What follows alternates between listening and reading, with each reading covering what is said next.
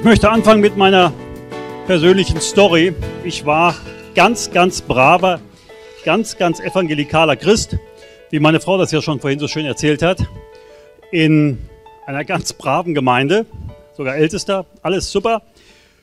Und irgendwann auf einmal begann, begann in mir sich irgendwas nach mehr vom Heiligen Geist zu sehen, auszustrecken.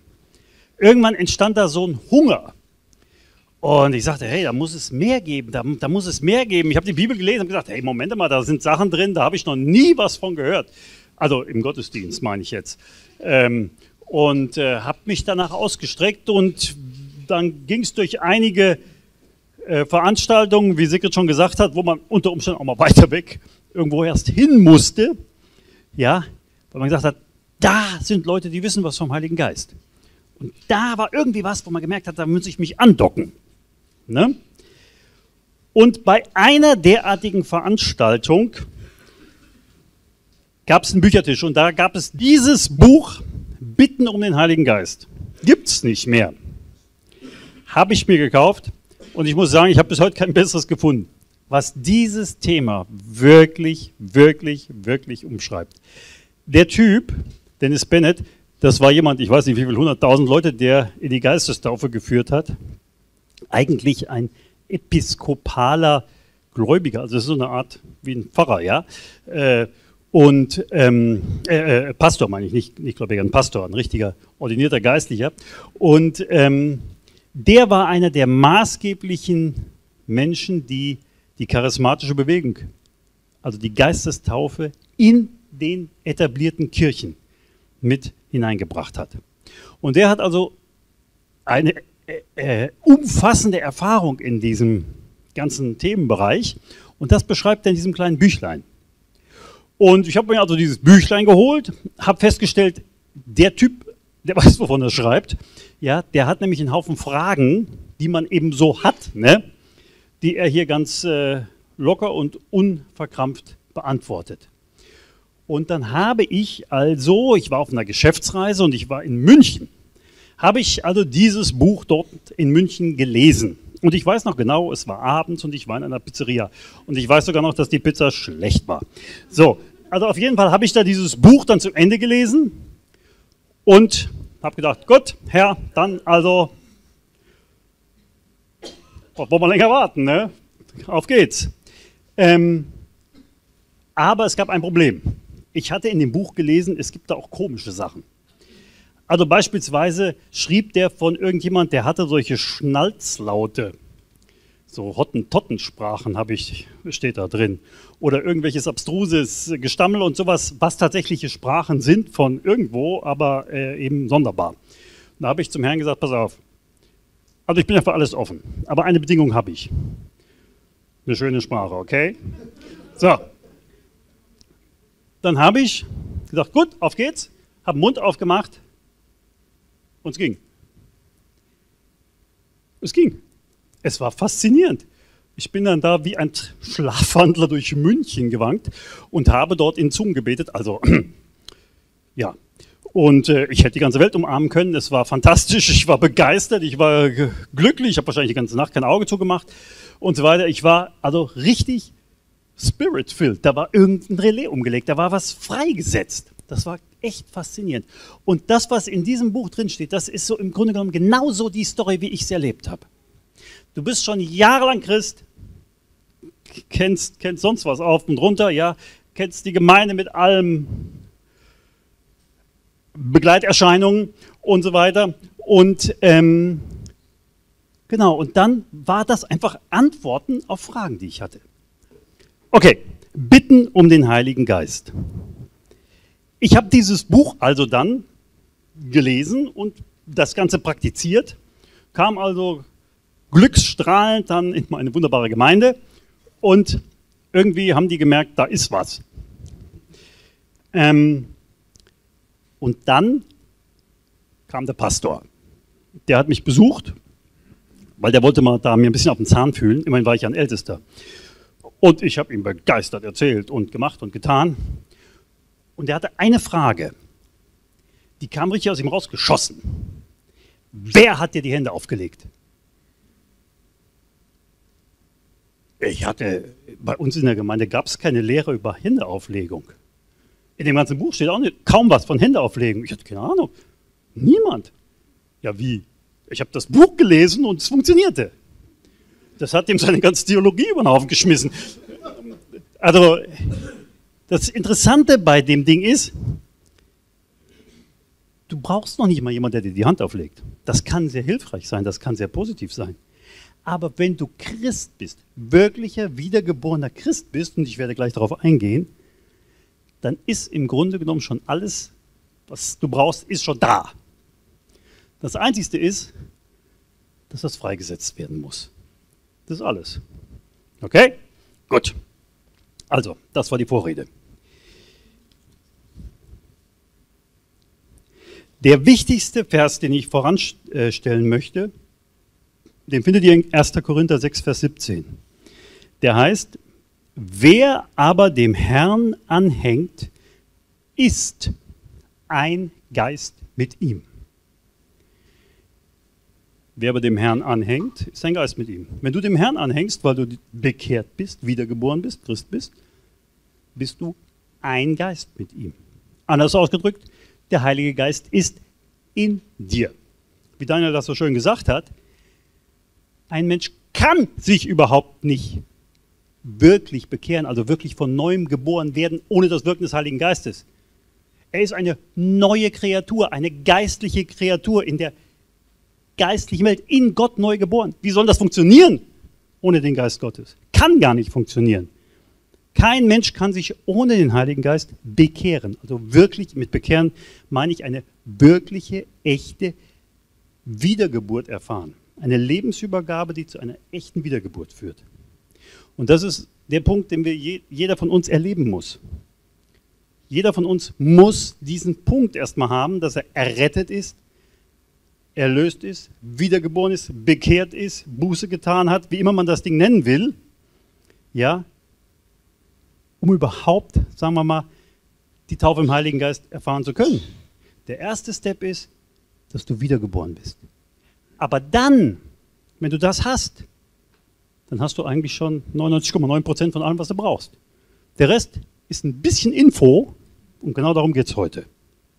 Weil nämlich der Teufel ist ein schlauer Fitkin, der macht einen Haufen Verwirrung über das Thema, einen Haufen Konfusion, einen Haufen Befürchtungen und Ängste und irgendwelche dubiosen Dinge, damit die Menschen eben nicht durchbrechen in das, was der Herr für sie hat. Wenn du als Christ, wie Sigrid das gesagt hat, im Wissen, im Verstand, alles super gut. Da kannst du auch viel bewegen. Aber auf einmal kommt da etwas hinzu, wo du sagst, hey, da ist eine echte Liebesbeziehung zum Herrn.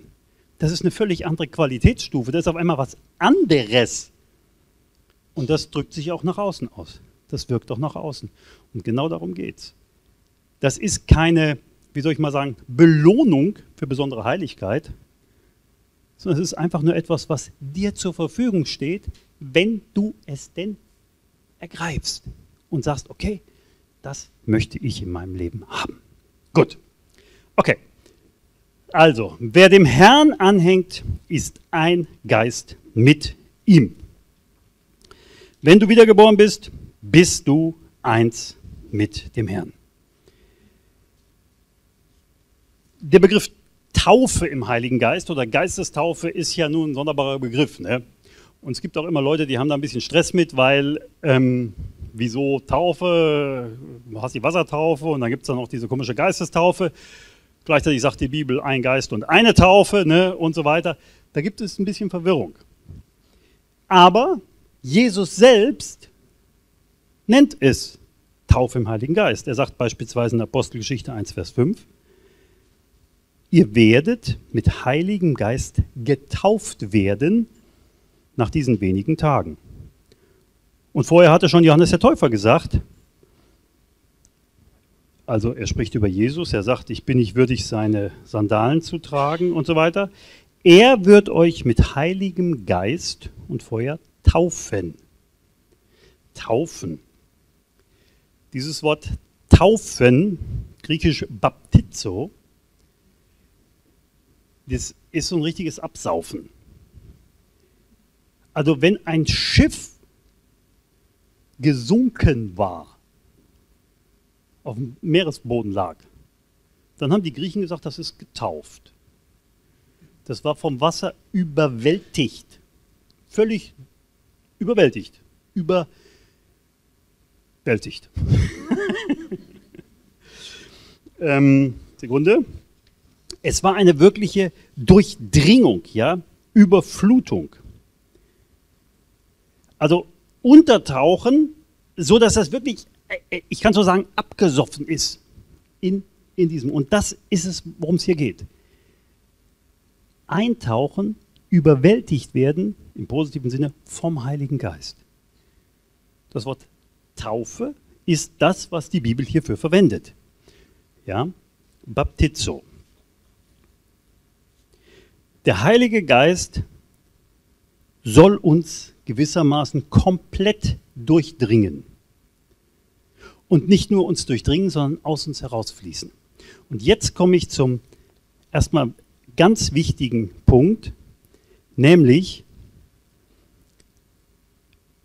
eigentlich für uns und unseren Sprachgebrauch wäre das Wort Freisetzung verständlicher. Freisetzung. Guck, wenn du Christ bist, hast du den Heiligen Geist. Wenn ohne Heiligen Geist kannst du gar nicht neugeboren sein. Aber das heißt noch lange nicht, dass du im Heiligen Geist getauft bist, dass der dich völlig durchdringt, dass der jeden Lebensbereich von dir überwältigt hat, überflutet hat. Da gibt es etwas anderes. Und das ist dieser Punkt, das muss freigesetzt werden. Das muss losgelassen werden. Das muss ermöglicht werden. Und da bist du derjenige, der entscheidet, wie weit das geht oder wie weit das nicht geht. Und wenn du nicht gelehrt bist, passiert erstmal gar nichts, in der Regel. Ja? Deshalb ist es gut, wenn man darüber spricht, um zu verstehen, wie man das eben freisetzt. In der Bibel gibt es in der Tat verschiedene Begriffe, die ähm, das beschreiben. Freisetzung des Geistes, Überfließen des Geistes, Geistestaufe, Ausgießung des Geistes, überwältigt werden vom Heiligen Geist, Kraftempfang durch den Heiligen Geist und so weiter. Okay? Eigentlich, so habe ich es erlebt, ist die, die Geistestaufe nicht etwas, wo du mit dem Heiligen Geist erfüllt wirst, weil der ist eigentlich schon da. Und eigentlich, wenn man sich mal genau betrachtet, ist er eine Person. Er spricht ja von sich in der Ich-Form.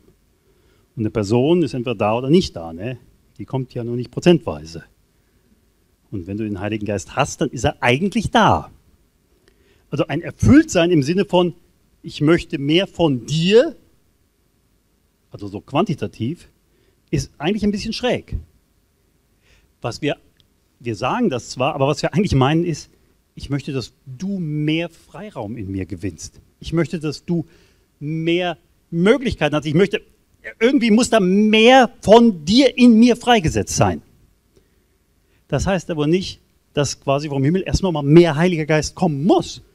Wenn du wiedergeboren bist, hast du eigentlich alles, was du brauchst. Die Fülle des Heiligen Geistes ist in dir. Was du brauchst, ist, dass das freigesetzt ist, dass das rausfließt, dass das ermöglicht wird. Weißt du, wir, wir denken immer, wir müssen uns nach ausstrecken zum Himmel und sagen, Herr, wir brauchen mehr von dir. Das ist im Prinzip kein falsches Gebet, aber eigentlich schon. Weil wir brauchen nicht mehr von ihm, sondern eigentlich wollen wir sagen, Herr, nutze du mehr von mir. Ich gebe dir mehr Raum in mir. Schau, ganz einfaches Beispiel.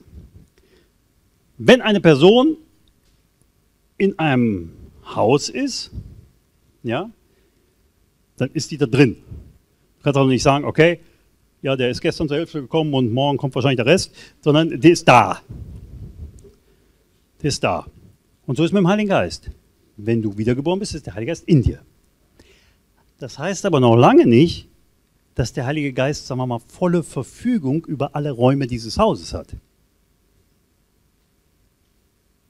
Vielleicht hast du nur in die Küche gesetzt.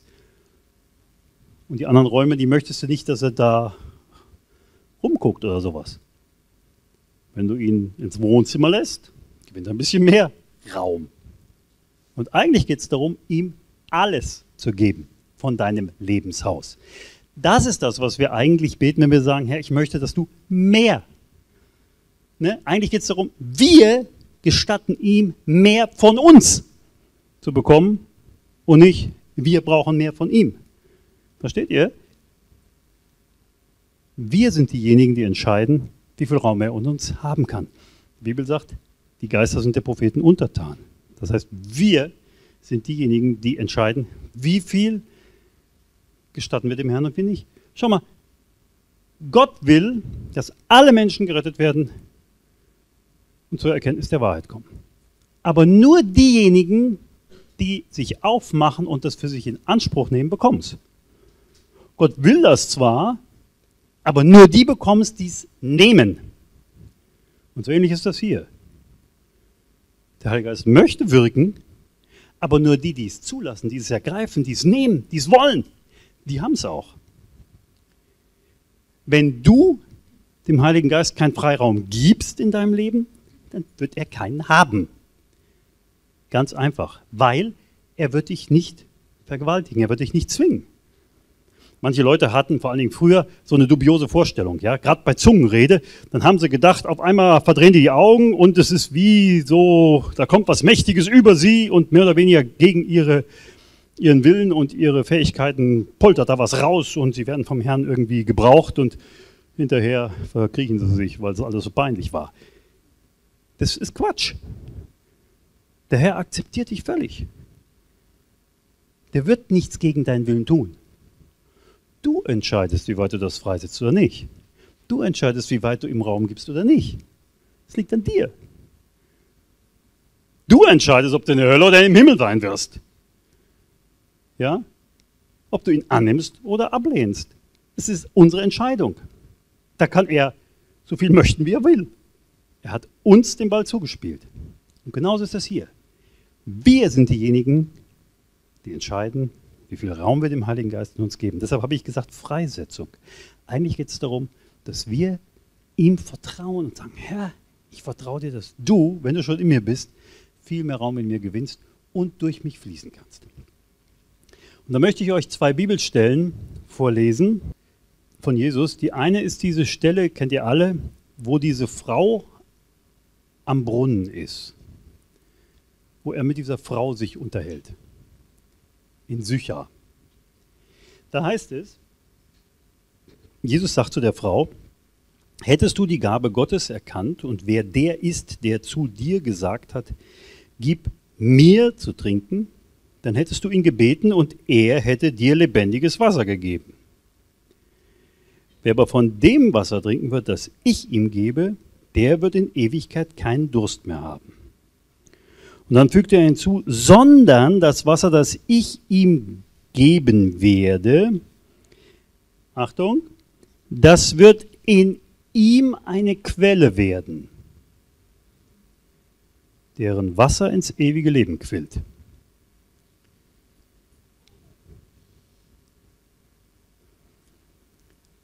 Das Interessante hier bei der Sache ist, eigentlich geht es hier um zwei verschiedene Dinge nämlich ein Einfließen, das Wasser des Herrn, und dann ist da die Quelle in der Person. Und aus der soll was ausfließen. Und genau das ist der Punkt.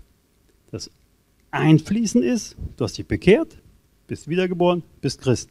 Der Heilige Geist konnte dich zu einer Neugeburt machen.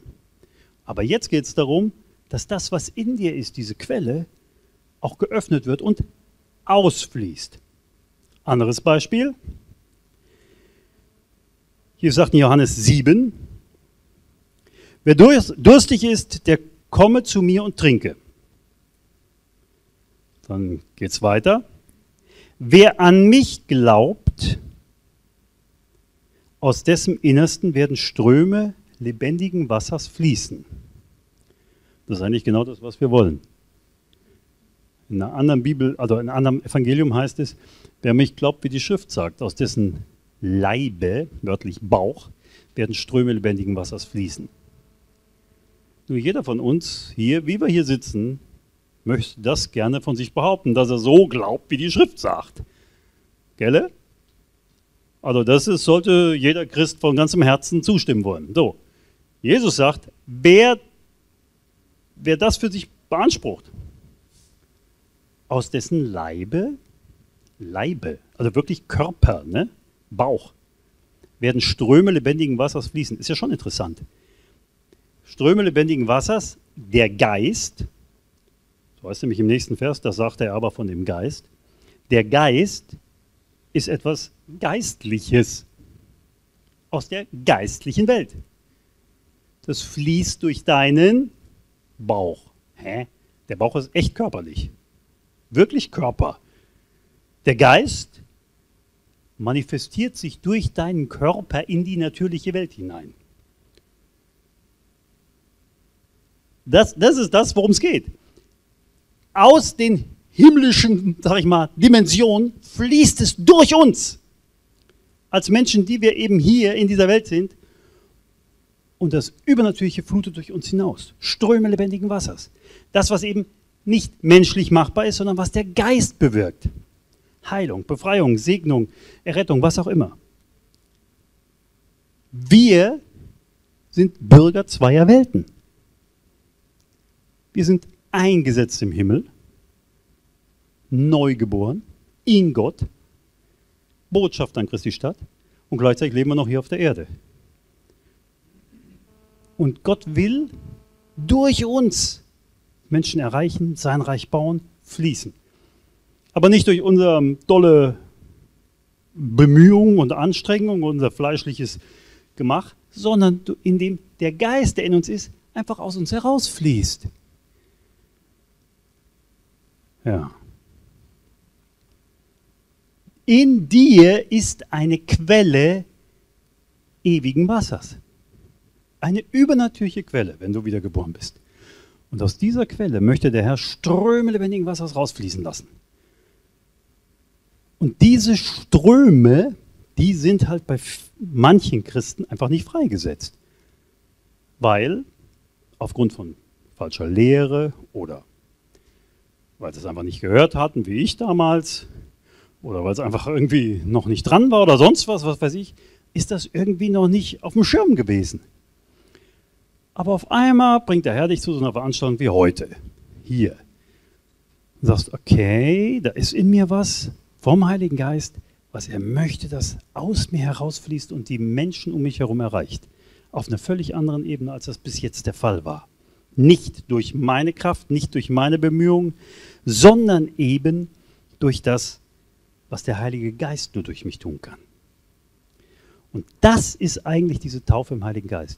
Dieses Freisetzen dieser Quelle, die auf einmal in dir ist und auf einmal überflutet sie dein Sein. Und zwar nicht nur deinen Geist, sondern eben auch deine Seele und eben sogar deinen Körper letztlich.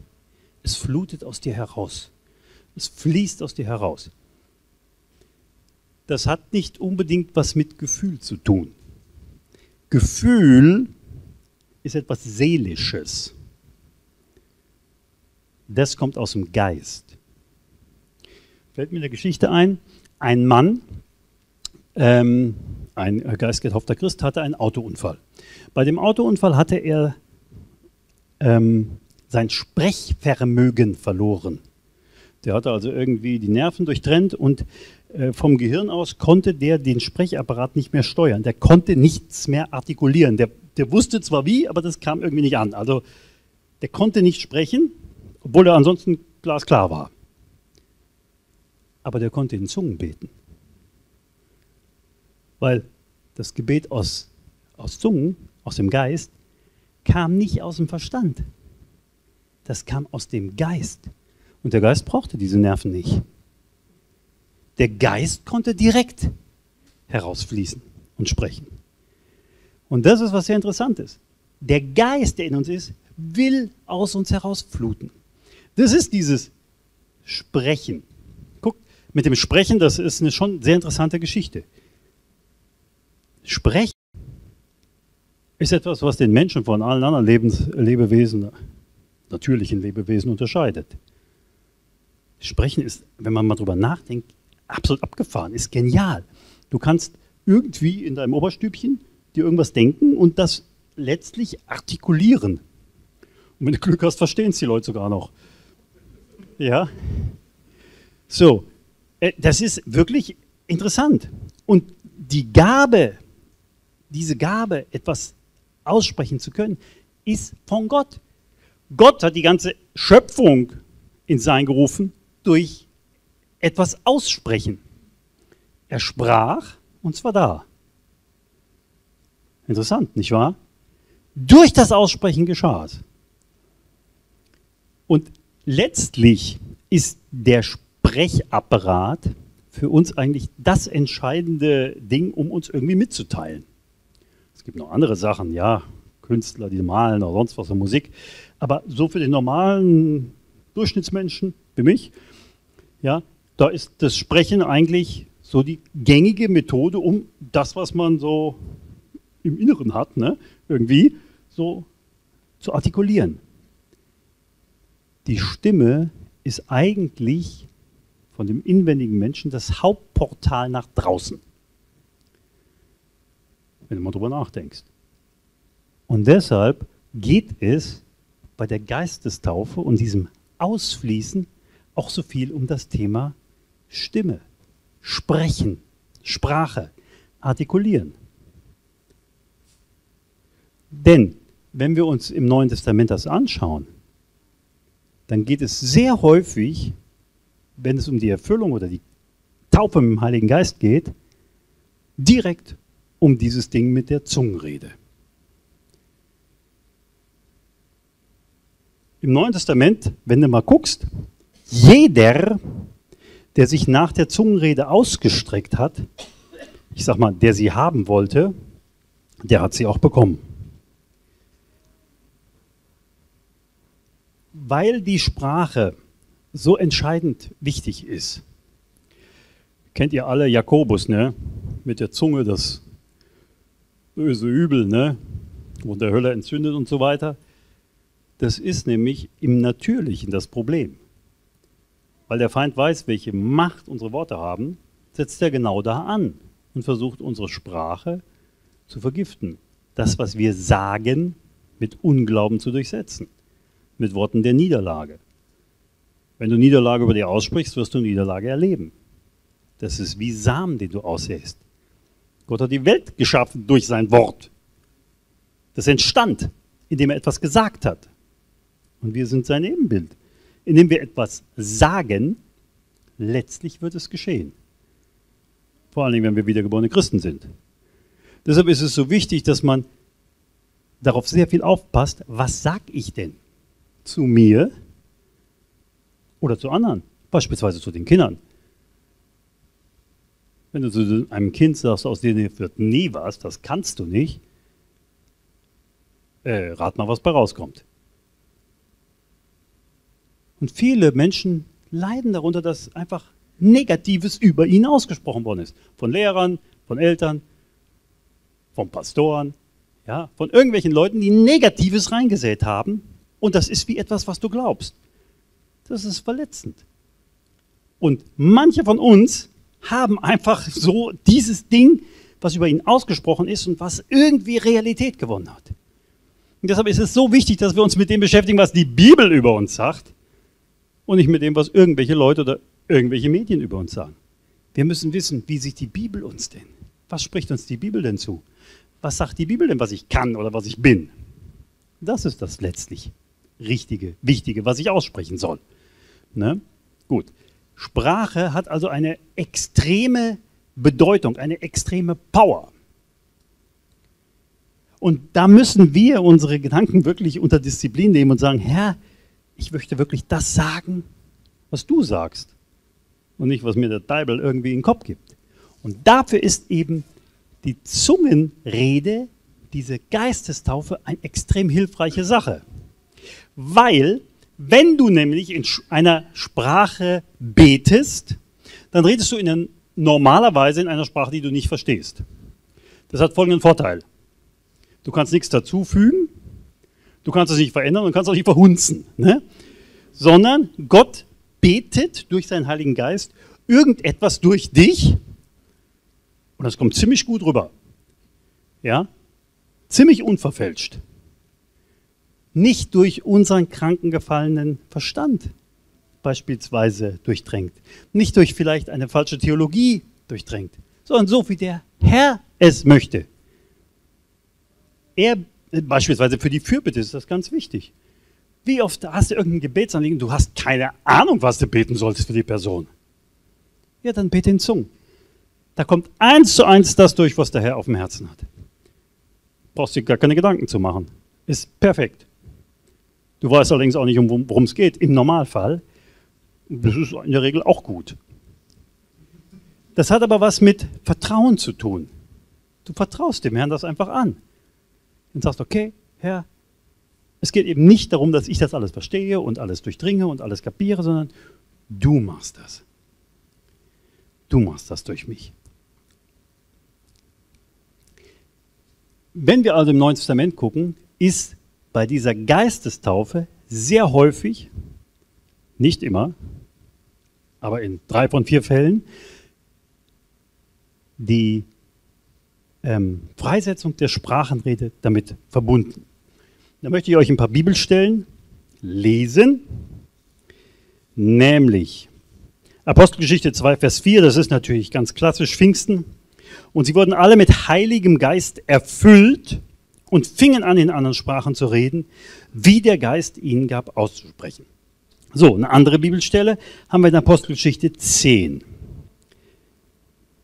Das ist die Geschichte mit dem Hauptmann Cornelius. Während Petrus noch diese Worte redete, fiel der Heilige Geist auf alle, die das Wort hörten. Und die Gläubigen aus der Beschneidung, also die Juden, Judenchristen, so viele ihrer mit Petrus gekommen waren, gerieten außer sich, dass auch auf die Nationen die Gabe des Heiligen Geistes ausgegossen worden war. Das war nämlich das erste Mal, dass sie es miterlebt haben. Bis dahin war dieses Thema Geistestaufe nur etwas, unter, was unter Judenchristen auftauchte. Und auf einmal ich will nicht sagen, die sind vom Glauben abgefallen, ja, das nur auch nicht, aber die waren völlig schockiert, als sie mitgekriegt haben, huch, äh, diese geniale Gabe, die wir so exklusiv für uns äh, gepachtet hatten, gibt Gott auch denen, den Heidenchristen, die mit dem Juden überhaupt nichts zu tun hatten. Da waren sie richtig außer sich, dass die Gabe des Heiligen Geistes ausgegossen worden war, und jetzt kommt's, denn Sie hörten sie in Sprachen reden und Gott erheben. Da antwortete Petrus, könnte wohl jemand das Wasser verwehren, dass diese nicht getauft würden, die den Heiligen Geist empfangen haben, wie auch wir. Oder noch später gibt es die Geschichte, wo Paulus in Ephesus so einen Haufen Christen begegnet, die hatten zwar eine Wassertaufe erlebt, hatten aber irgendwie mit der Geistestaufe noch nichts äh, gehört. Und dann war es so, als Paulus ihnen, nämlich diesen Jüngern, die Hände aufgelegt hatte, kam der Heilige Geist auf sie und sie redeten in Sprachen und Weissagten. Also im Neuen Testament hast du halt häufig diese Kombination zwischen Geistestaufe und eben dieser Freisetzung von Sprachenrede. Nun gibt es da natürlich diverseste theologische äh, äh, Dinge, die teilweise auch ja, sich über Jahrhunderte halten. Eigentlich, so habe ich es äh, empfunden, für mich persönlich, war es so, dass es zwei verschiedene Sachen sind, von denen die Bibel hier spricht. Das eine ist nämlich etwas wie eine Gebetssprache. Und das ist das, worum es uns heute geht. Eine Gebetssprache ist, du kannst in einer anderen Sprache, die du nicht gelernt hast, beten. Der Heilige Geist gebraucht deinen Stimmapparat und es fließt aus dir heraus. In einer Sprache, die du nicht kennst. Es kann sein, dass es andere Leute gibt, die die Sprache kennen und das bestätigen. Kann auch sein, dass es eine Sprache ist, die kein Mensch kennt. Und dann gibt es eben noch die Gabe der Zungenrede. Das ist etwas anderes. Das ist etwas, wo wirklich der Heilige Geist jemand gebraucht, um in einer fremden Sprache eine, sagen wir mal, prophetische Rede oder irgendwie sowas freizusetzen. Guck, ähm, wenn Menschen für andere beten, dann merkst du manchmal, dass da irgendwie sowas wie so ein prophetischer Fluss ist. Du betest über der Person irgendwas aus, wo du merkst, das ist vom Herrn, was du aber gar nicht irgendwie weißt oder so, und da ist, ist aber irgendwas drin. Das ist aber was anderes, in dieser Fürbitte prophetisch zu beten, als die Gabe der Prophetie. Ja, wenn irgendein Prophet kommt und irgendein mächtiges Wort weitergibt. Das eine ist das, was wir alle quasi im täglichen Gebrauch nutzen können, von dem, was der Heilige Geist für uns hat. Das andere sind bestimmte Gaben, Berufungen, Ämter oder wie immer du das Ding nennen willst, wo er bestimmte Menschen beruft. Und da gibt es Leute, die tatsächlich einfach vom Herrn gebraucht werden, um in Sprachenrede irgendetwas freizusetzen. Ich erinnere mich an eine Story, habe ich mal äh, gehört von einem Prediger, der sagte, er hatte Probleme, nämlich bei der Einreise. Er war irgendwo war ein Ami, der wollte irgendwo einreisen und sie haben ihn nicht durchgelassen. Er kam also an diesem Visabeamten nicht vorbei. Das zog sich und dauerte und der hat rumgemuckt und es war furchtbar und es ging nichts. Und er sprach auch die Sprache nicht, es war entsetzlich. Und irgendwann fing der an und hat einfach Schakaraboski Schnacko und hat ihn da richtig einfach in Zungen, ich sag mal, auf den eingeredet. Aber richtig, gib ihm, ja, zehn Minuten. Der Typ da am Schalter, der kriegt immer größere Augen. Und als, als der fertig war, der Pastor, nimmt er dem sein, sein Pass, macht das Stempelchen rein, tippt ihn zu und gibt ihn dem mit einem freundlichen Lächeln. Und das Thema war erledigt. Kein Mensch weiß, was der gesagt hat. Vor allem der Pastor nicht. Ja, der hat keine Ahnung, was eigentlich war. Aber es hat funktioniert. So, das ist nicht die normale Gabe, die du in deinem Gebet zu Hause äh, gebrauchst. Ne? Aber ihr merkt, das, ist, das sind ja unterschiedlichste Facetten. Das ist so, wie du zu Hause den Herrn ein Lied singst. Du lobst ihn, du preist ihn, singst vor dich hin. Ist was anderes, als wenn du als äh, äh, Solosänger vor 5000 Leuten stehst und da ein Lobpreislied singen sollst. Gelle? So. Und so ähnlich ist das. Überhaupt, mit dem Singen ist es interessant. Guck, wenn du normal redest, dann kannst du dich entscheiden, jetzt zu singen. Das ist im Grunde genommen nur so eine kleine Hürde. Hallo, ich kann jetzt auch ein Liedchen singen.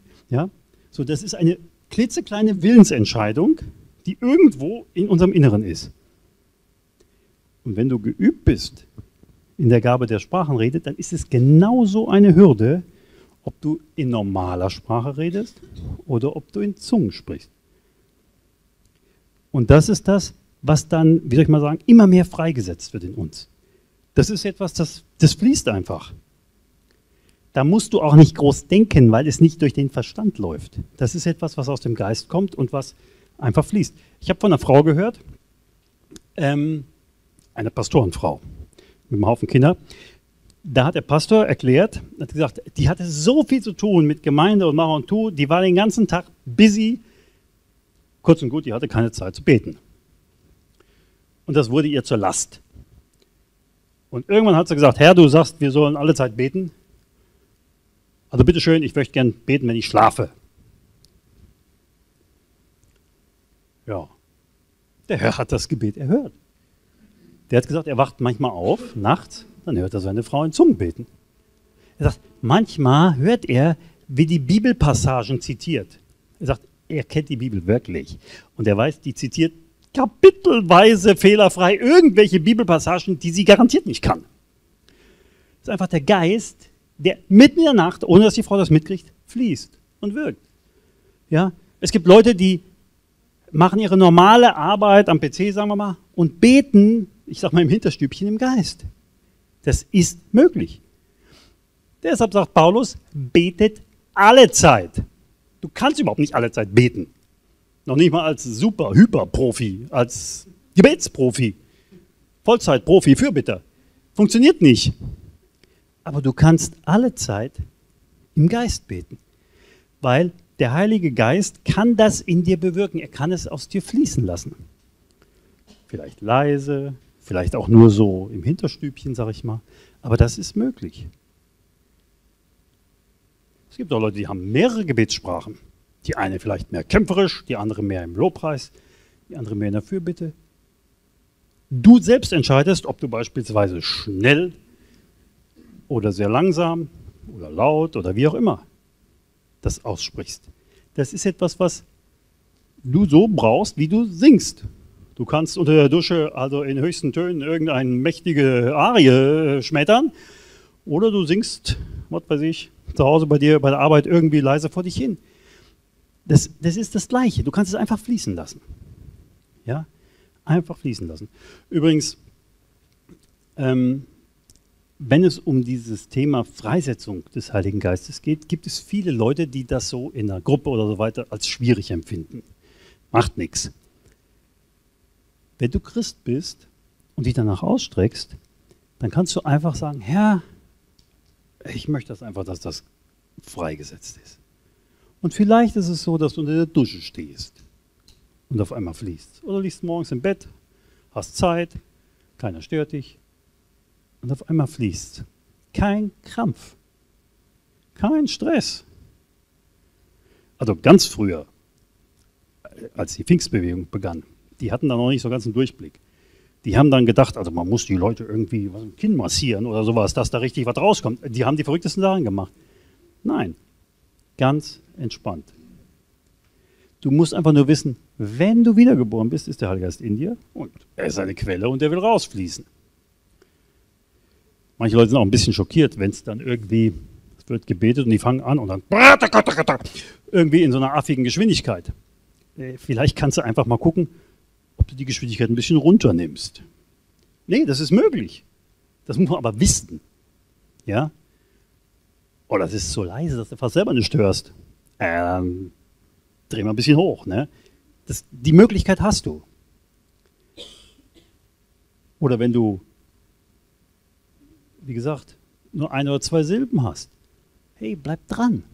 Das baut sich auf. Das ist eine Sprache. Das ist wie, sagen wir mal, so ein kleines Kind. Ein Kind, wenn es geboren ist, das hat gar nichts an Sprachhintergrund. Null. Das fängt mit, aber wirklich mit gar nichts an. Und das fängt an, irgendwelche Laute zu artikulieren und es dauert Monate, Jahre, bis sich daraus eine entsprechende Sprache gebildet hat. Und jeder weiß, hast ein Kind in China, kann das perfekt Chinesisch, ja äh, wo unser einzig äh, jahrelang für quälen muss vielleicht. Das ist etwas, weil nichts da ist, was einfach ganz natürlich entsteht, was gelernt wird, was kommt. Und genauso müssen wir einfach sagen, okay, das ist jetzt was Neues, was der Heilige Geist für mich hat. Und da lasse ich einfach zu, dass ich da reingehe und dass das sich entwickelt. Und da brauchst du keinen Stress zu haben, wenn das sich ein bisschen komisch anhört oder irgendwie noch nicht so wohlklingend ist. Und der Teufel hat in der Regel, so wie man anfängt in Zungen zu beten, ist er sofort da. Dann sagt er beispielsweise, äh, das bist doch nur du selber. Ja. Und? Wer sonst? Wenn du ein Lied singst, bist es auch du selber. Also von sowas darf man sich nicht entmutigen lassen. Ja? Du lässt dich gebrauchen vom Heiligen Geist. Und das bist du. Ja, niemand anders sonst, ja. Und es ist keine Vergewaltigung des, vom Herrn, sondern es ist etwas, was einfach fließt. Dann einfach da weitergehen, weitergehen. Nicht entmutigen lassen. Der Feind ist sofort da und erzählt dir, dass das komisch klingt und dass das nichts ist und dass du das nur selber machst und sonst was. Vergiss es, das ist ein Standardding, kommt bei jedem. Einfach weitergehen. Einfach drin bleiben. Das ist wie diese Quelle, wenn es anfängt zu fließen und zu fließen, lass es fließen. Lass es fließen, immer mehr. Und du wirst merken, aus dem Flüsschen oder dem Rinnsal wird sich ein entsprechender Bach ergeben. Halleluja.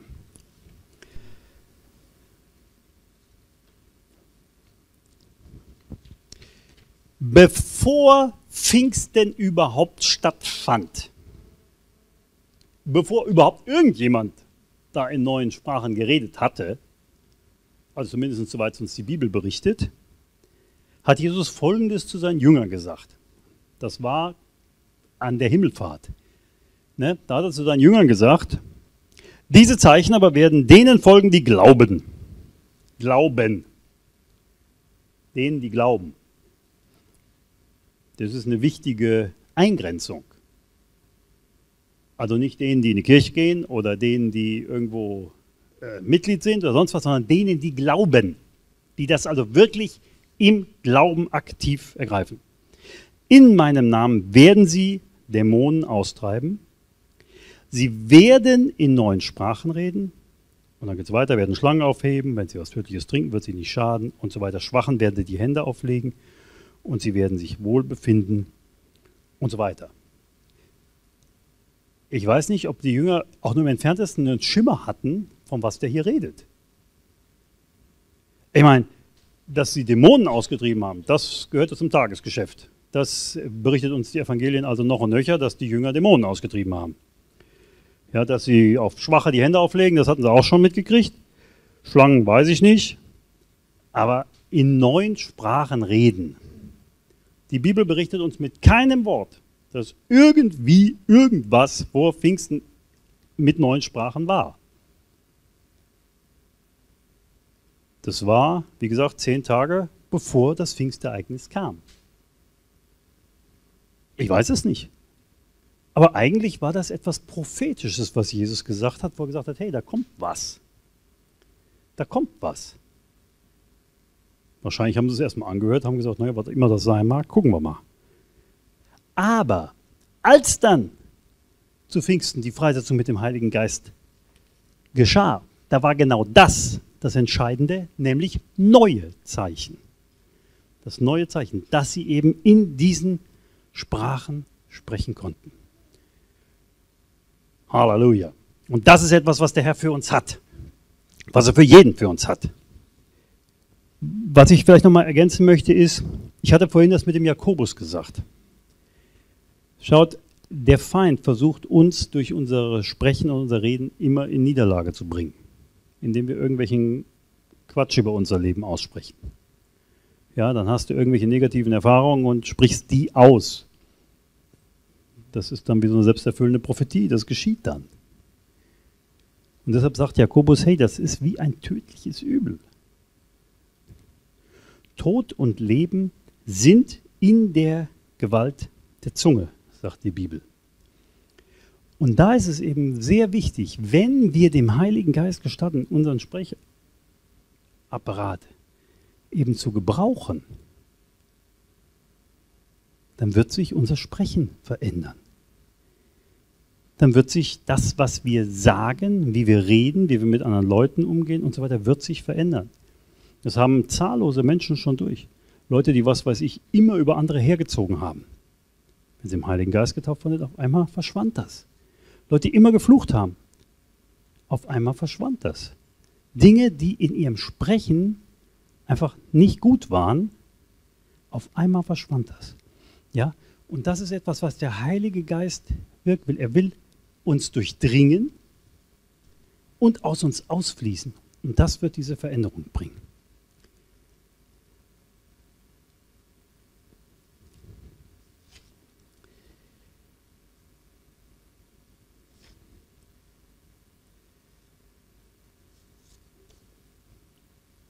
Das Thema Sprachenrede ist in der westlichen Christenheit, möchte ich betonen, in der westlichen Christenheit eines der am hauptsächlich umkämpftesten Themen überhaupt. Also in Afrika brauchst du im lutherischen Pfarrer damit nicht zu kommen, für den ist das glasklar. Ja? Auch Thema Dämonenaustreibung ist für den glasklar. Da sind die anders drauf als wir.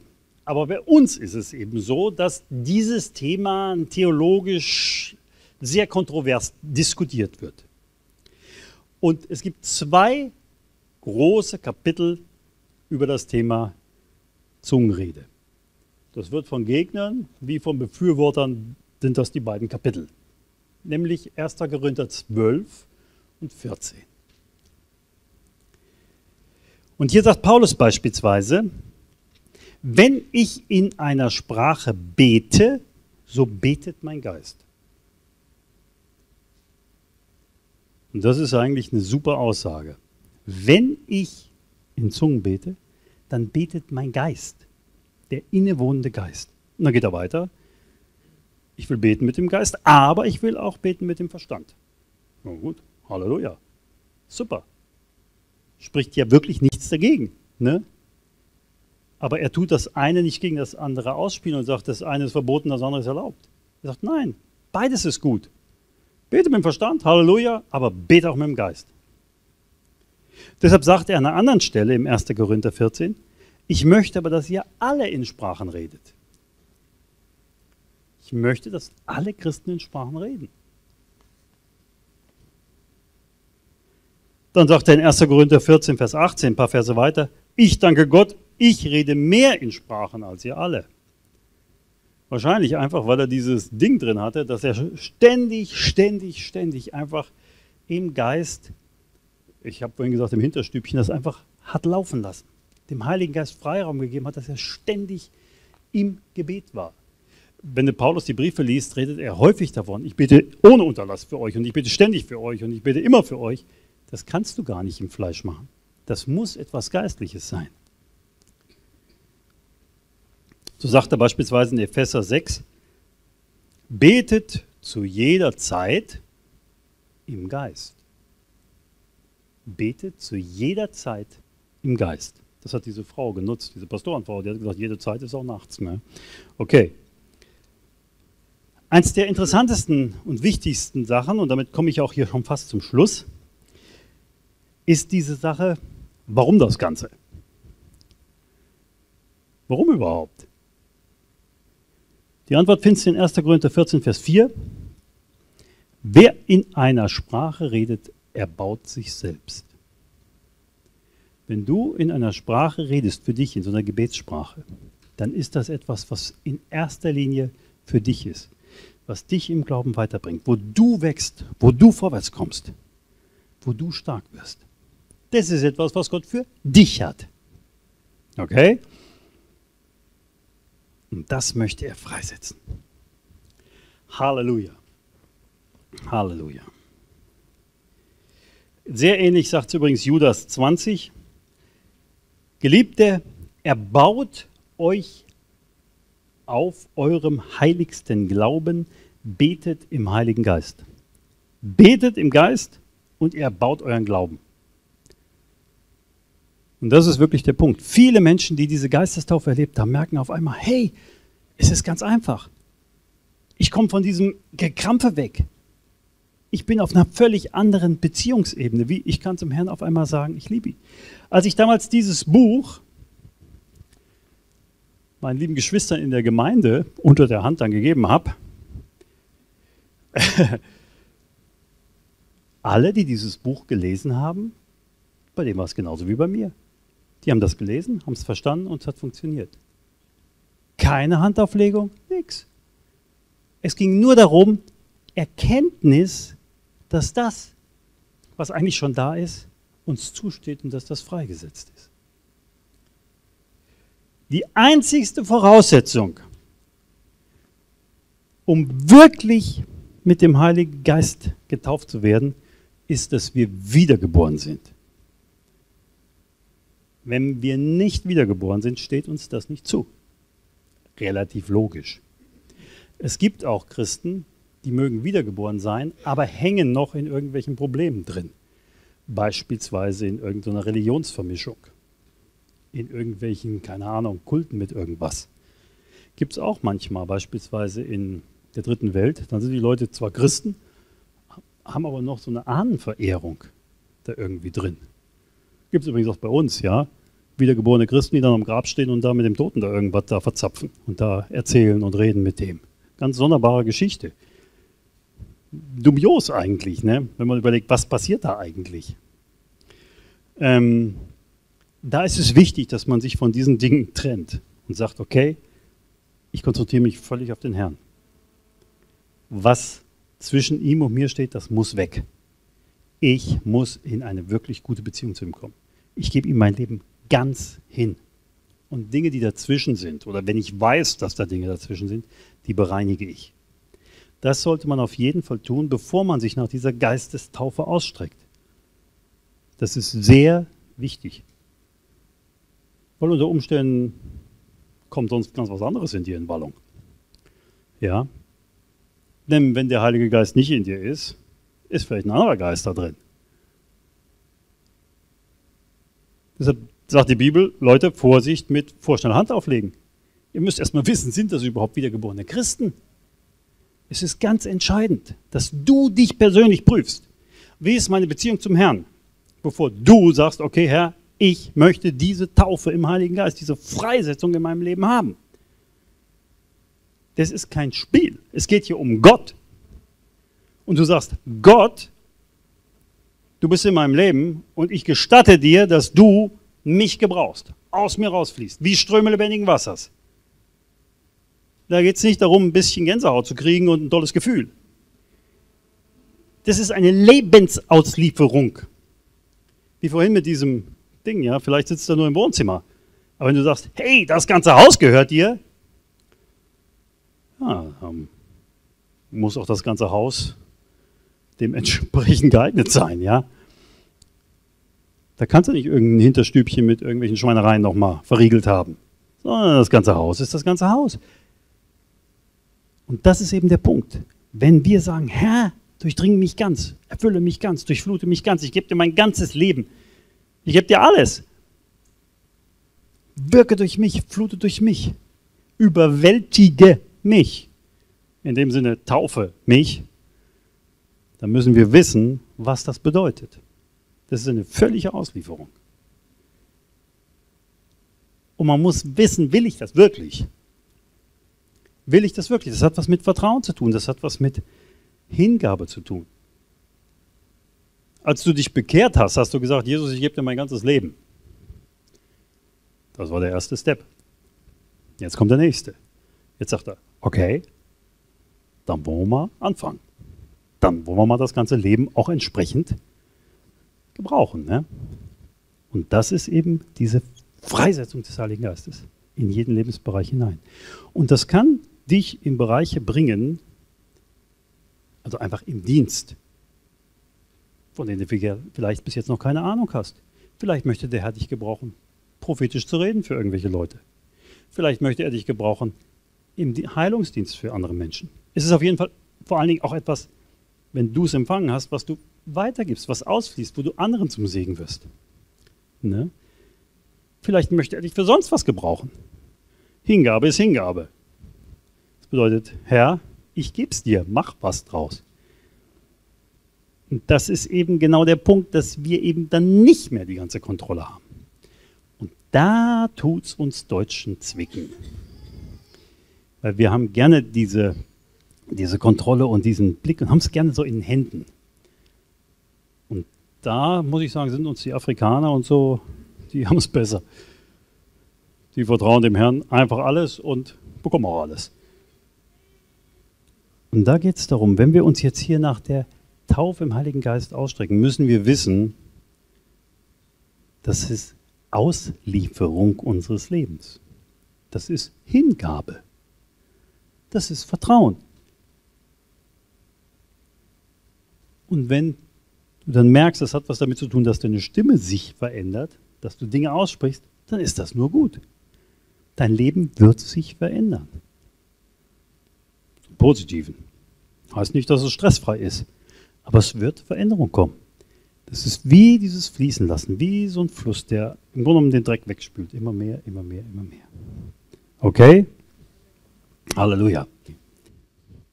Herr, wir kommen jetzt hier vor dich als deine Kinder. Du hast alles für uns gegeben. Wir sind durch, durch dich, was du für uns getan hast, haben wir den Zugang zum Vater und wir sind neue Kreaturen. Wir haben das ergriffen, dass du für uns gestorben bist. Wir haben das angenommen, dich als unseren Herrn und Retter akzeptiert und haben gesagt, Herr, dir gehört unser Leben. Und wir sind neu geboren. Ja, und wir haben verstanden, dass wir deshalb einfach den Heiligen Geist haben. Er ist in uns. Ohne diesen Heiligen Geist können wir das gar nicht sagen.